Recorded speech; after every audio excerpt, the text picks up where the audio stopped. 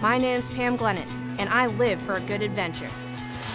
As a competitive snowboarder and overall action junkie, I'm looking to find the most exhilarating vacations in the most remote places in the world.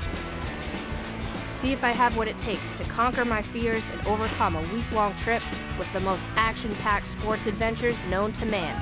I'll cross a few things off my bucket list and see if I can hang with some of the toughest and most interesting people in the world.